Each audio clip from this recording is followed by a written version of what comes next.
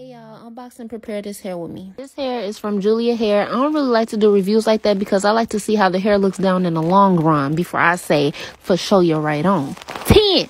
So right now we're going to stick to an unboxing. So I got a 5x5 glueless pre-cut lace wig. The lace is HD. Yeah. Every time I do a glueless wig, somebody is always in my comments like, but what if it flies off? What if I get into a fight? Baby, adjust that strap in the back and get to work. Why would you want your edges gone? Don't mind my bonnet. It's just braids under there, so it's really no filler, so it's big as hell. Tuning into the video, I'm just preparing my lace and making sure, oh, girl, not too much.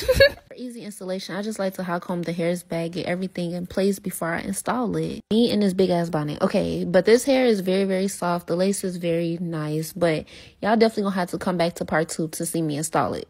Yeah, big ass bonnet. All right, bye.